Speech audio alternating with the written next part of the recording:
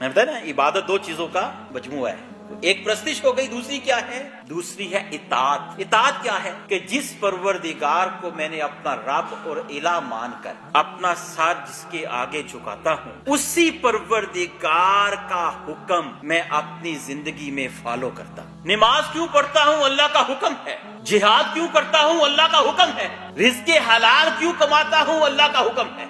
Risk हराम से इज्तनाब क्यों करता हूँ? अल्लाह का हुक्म है। मैं रिश्वत क्यों नहीं लेता कि अल्लाह ने मना फरमाया? मैं शराब क्यों नहीं पीता? अल्लाह ने मना फरमाया। मैं झूठ क्यों नहीं बोलता? अल्लाह ने मना फरमाया। मैं खयानत क्यों नहीं करता? अल्लाह ने मना फरमाया। मैं रसूलों की पैरवी क्यों करता हूँ? अल्लाह ने हुक्म दिया मैं कुरान मजीद को अपनी ज़िंदगी का दस्तूर और आयन क्यों समझता हूँ?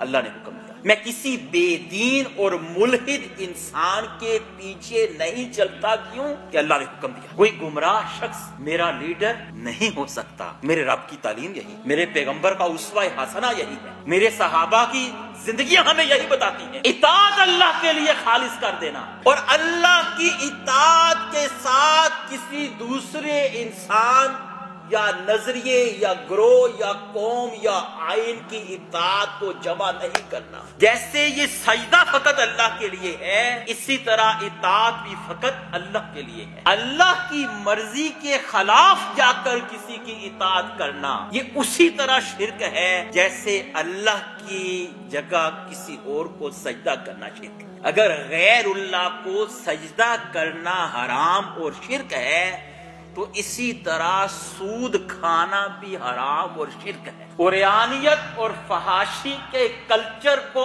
अपनाना भी हराम और शिरक है। तो इबादत फकत नमाज़ का नाम नहीं है। इबादत फकत रोज़े का नाम नहीं है। इबादत फकत हज और उम्रे और तवाफ और जबिए और कुर्बानी का नाम नहीं है।